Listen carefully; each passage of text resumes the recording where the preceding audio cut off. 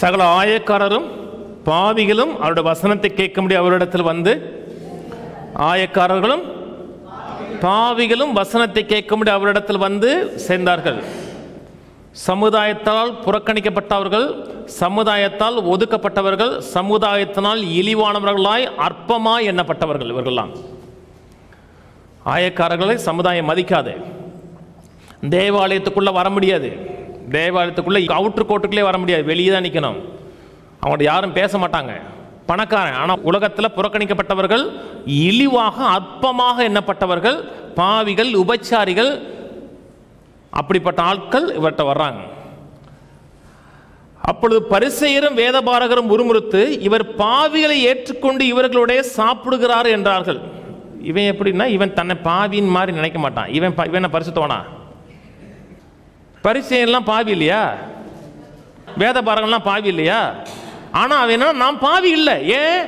அவனுடைய மாம்ச செயலை காட்டிலும் என் மாம்ச செயல் பெட்டர் அவனுக்கு இருக்க அறிவை காட்டிலும் என்னுடைய அறிவு பெட்டர் எனக்கு முதல் அஞ்சு புத்தகம் மனப்பாடமாக தெரியும். எனக்கு இல்லை. அவர்களுக்கு எல்- அஞ்சு புத்தகம் மனப்பாடம் தெரியும். அதாவது பரிசேர்கள் இருக்காங்க இல்லையா? பரிசேரில் இருந்து சனகரிப் சங்கத்தில் ஒரு மெம்பராக இருந்தீங்கன்னா முதல் அஞ்சு புத்தகம் மனப்பாடமாக தெரியும் உங்களுக்கு. எந்த இடத்துல கமா வரும் எந்த இடத்துல ஃபுஸ்டாப் வரும் எதுன்னு செமிகோலன் வரும் அத்தனையும் தெரியும் உங்களுக்கு. மனப்பாடமாக அப்படி வச்சுருப்பாங்க. இதே ஒரு பூகம்பம் வந்திருக்கு ஏதோ வச்சு அழிவு ஏற்பட்டுருச்சு இயற்கை பேரிடர் ஏற்பட்டுருச்சுன்னா அந்த ஒரிஜினல் மேனுஸ்கிரிப்ட் போயிடுச்சுன்னா ஒன்றும் கவலைப்பட மாட்டான். உட்காந்து அப்படி எடுத்துருவான். ஐ மைண்டில் அப்படி இருக்கும்.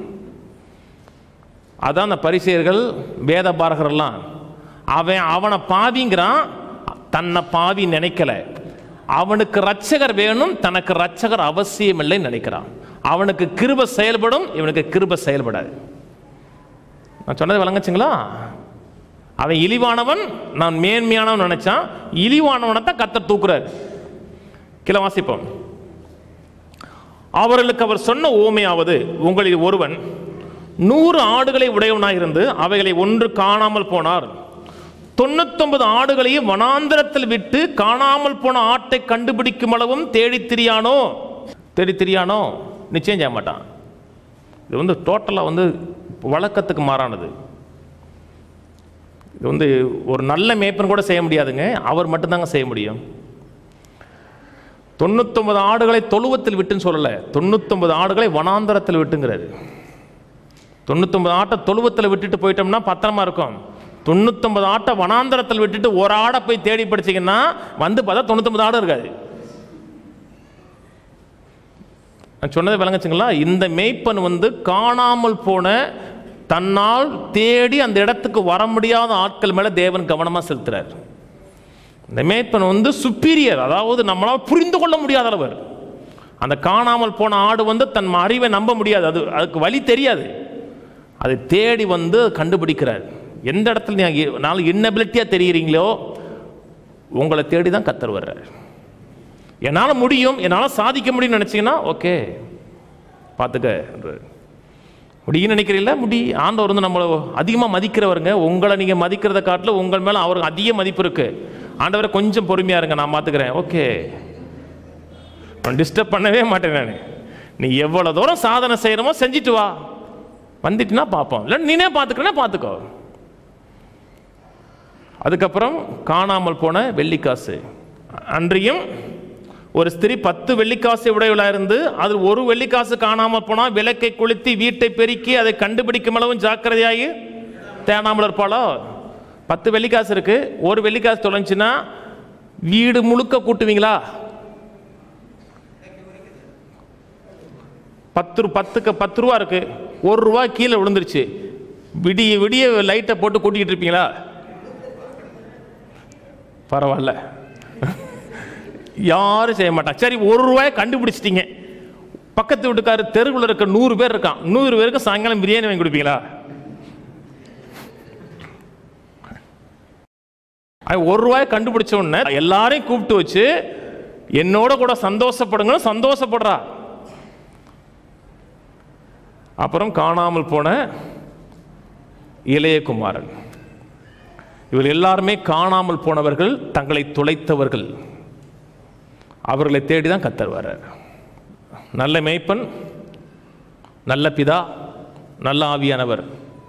எனக்கு ஒருத்தர் கமெண்ட்ஸ் போடுவார் ஃபேஸ்புக்கில் அருமையான வார்த்தை அருமையான ஆவியானவர் அருமையான மாம்சம் மருமையான எல்லாமே அருமையான அருமையானன்னு போடுவார்.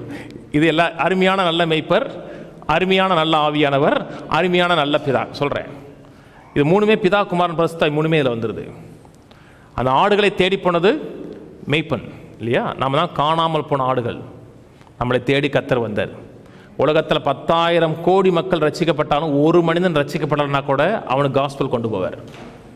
அவனுடைய ஜீவன் அவருக்கு மேன்மையானது. ரெண்டாவது காரியம் அந்த வெள்ளிக்காசை தேடுகிற பெண்.